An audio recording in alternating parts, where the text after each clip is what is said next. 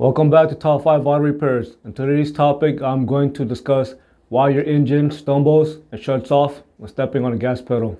The first common problem that's causing your engine to stumble when you step on the gas pedal is going to be caused by low fuel pressure. So low fuel pressure can be caused by an extremely clogged fuel filter or a fuel pump that the electric motor is failing.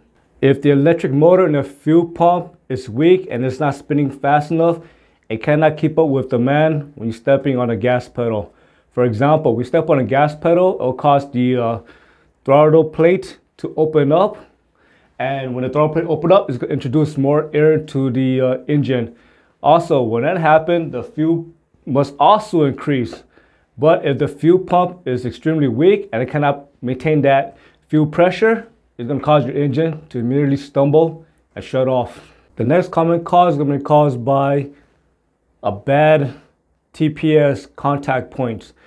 So basically, if the TPS or throttle position sensor contact points are worn, it's going to immediately cause the engine to stumble when you step on the gas pedal.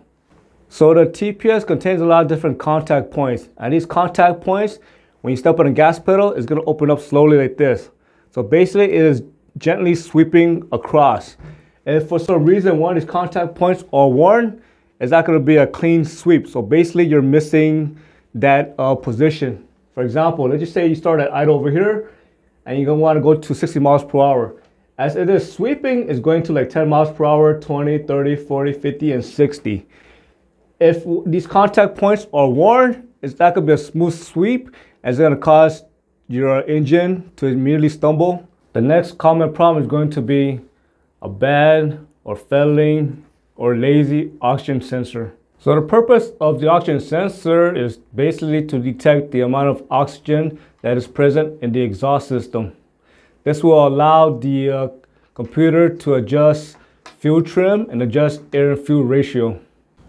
If there's an issue with your oxygen sensor, let's just say it's no longer functioning properly, caused by maybe a buildup of black soot, or let's just say it got damaged caused by an engine misfire, when it dumps too much fuel onto it, it can really cause the oxygen sensor to send incorrect signal to the computer.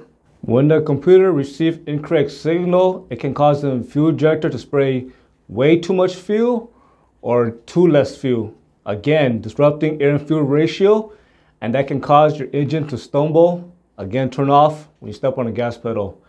As always, thank you for watching subscribe to Top 5 Auto Repairs.